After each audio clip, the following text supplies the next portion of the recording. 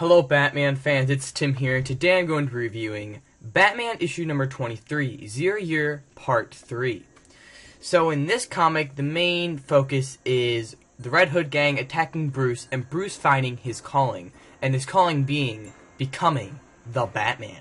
So, the comic starts out with a flashback of Bruce at, uh, falling into the hole, you know, where he gets near the Batcave and the bats fly after him.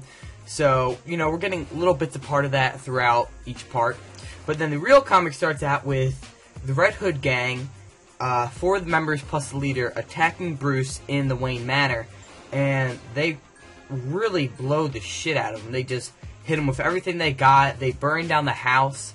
And Bruce just gets away in time to pass out right on the floor of the Wayne Manor in a different part where obviously it's not burned down. And before that happens, the Red Hood gang basically just says that the death of Wayne's parents basically is what motivated them to help the city. Is at least is what they're thinking they're doing. So obviously they think they killed Bruce Wayne, and obviously just got away just in time for Alfred to stitch him back up. In the last issue, they did have a fight, but Alfred said something emotional, saying, "I'm always here for you, no matter what we do. I'll always stitch you up." So obviously that happens and Bruce just goes walks away. And before that, we get we do a little cutaway with the Riddler, and the Riddler is about to get shot. And basically, right here, we notice how smart the Riddler really is. We always know he's always five steps ahead. He's always ahead of everyone else. So he's about to get shot. He says the code name Kane, and basically, the man who's about to shoot him gets I don't really understand if it's electrocuted or something, but he just passes out and dies. So we do understand that the Riddler really does know what he's saying, but before the man fully dies, he's on the floor unconscious, or not unconscious, but you know, he's in pain. He just says, What's the point in you being like so special if no one knows who you are? You're just leaving an empty question mark. And the Riddler just says, Goodbye, Philip.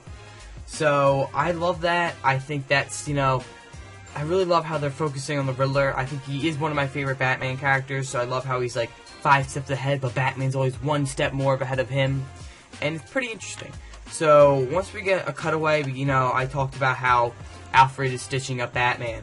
Batman slowly walks away, you know, obviously already beat up, and it's sort of like the scene from Batman Begins. He's just sitting on that. He's uh, sorry, he has a rock. He's just putting it against a statue of his dad. He's saying, I need my calling.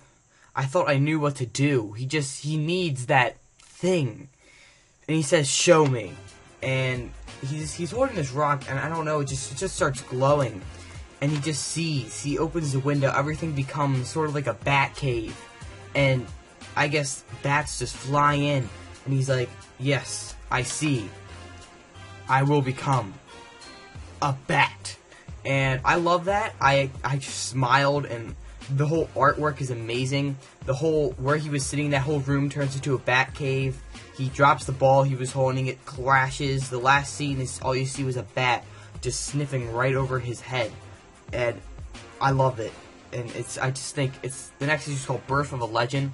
So far, this is my favorite part of Zero Year. I thought it was amazing. I just I cannot wait until like when he just becomes Batman, the first suit like we saw in part one. It's amazing.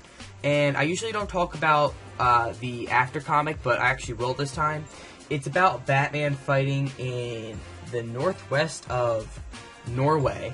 So it's just one of his missions, and basically he's in a pit, you know, about 10 feet down, and the princess or the master keeps on throwing um, people in there to fight Bruce and Bruce has, you know, the long hair. He looks amazing. He just keeps on fighting, and then and the princess says, or I don't know, princess or master says, you must kill the per- the people to win. You can't win a fight or a war without killing. And he just says, you know, yes I can, yes I can. So what she does, she just throws about 15 people in there, and he beats everyone up to a pulp.